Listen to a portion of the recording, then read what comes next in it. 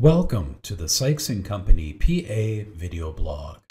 Yeah, so as a part of the Taxpayer Certainty and Disaster Relief Tax Act of 2020, uh, there's been some law change related to meals and entertainment. Well, for meals, they can be 100% deductible in certain scenarios. Just to give you a little bit of information about the meals and entertainment, um, before 2018, meals were 50% deductible and entertainment was 50% deductible. Uh, however, after 2018, entertainment was excluded. So there was no deductions for the golf outings or maybe uh, watching some sporting event, things of that nature. So now, and for this temporary change for the year 2021 and 2022. Entertainment is still excluded.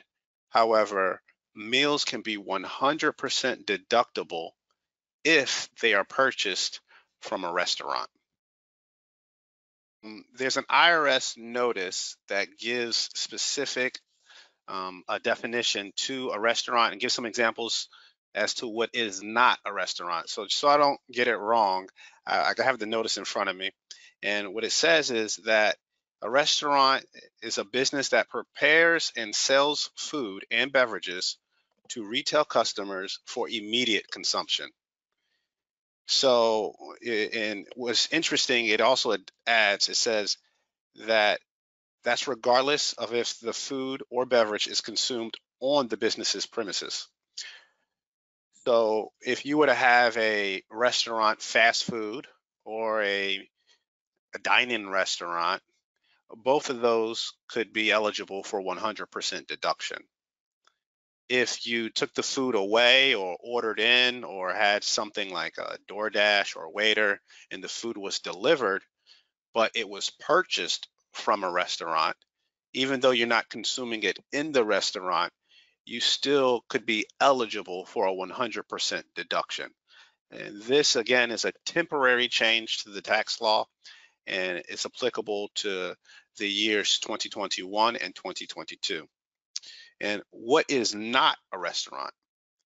It talks about businesses that sells prepackaged goods that are not for immediate consumption, such as grocery stores, um, a food, food or beer and wine store, a liquor store, drugstore, convenience store, or even a vending machine kiosk. So what's interesting about this new update to the law is it's not necessarily the meal itself that dictates whether it's a 50% deduction or a 100% deduction, but it's more of where the meal was purchased. So if it's at a restaurant, it would qualify for a 100% deduction. Um, but if it was at like a grocery store or a convenience store, then that would apply to the same standard rules for the 50% uh, deduction.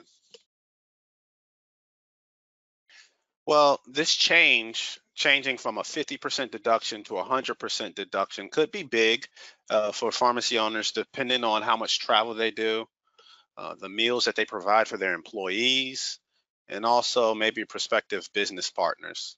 So how could a pharmacy, with some real life practical examples, these are going to be some generic examples. Work with your CPA for the specifics, especially if you have a material purchase that you plan on making. But let's say you had a restaurant and you go with a prospective client and you have a meal. Um, well, having a meal at this restaurant will be now 100% deductible as a business meal. Now, let's say you were um, networking and you took some individuals to a football game or a soccer game or something of that nature. The cost of the game would be 0% deductible because of the laws of the Tax Cut and Jobs Act. That stays the same, 0% deductible. However, if at that game you purchased a meal that was separately itemized and the price was the regular price that anyone would pay for that same meal. So you have a receipt for the meal separate from the activity, you could deduct the meal for that activity. Uh, the deduction for that meal would be 100%. But if the activity included the meal and it was not itemized separately, you would have a 0% deductible, deduction, excuse me. Um, the next is maybe you have employee meals um, that are required for a business meeting and you purchase it from a restaurant. Now with the new laws, that would be 100% deductible.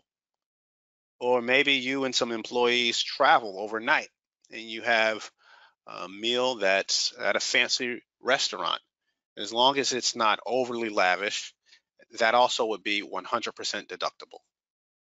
If while traveling you get some food and you prepare it at your um, hotel room, you cook it yourself, that would be 50% deductible because you did not purchase it from a restaurant.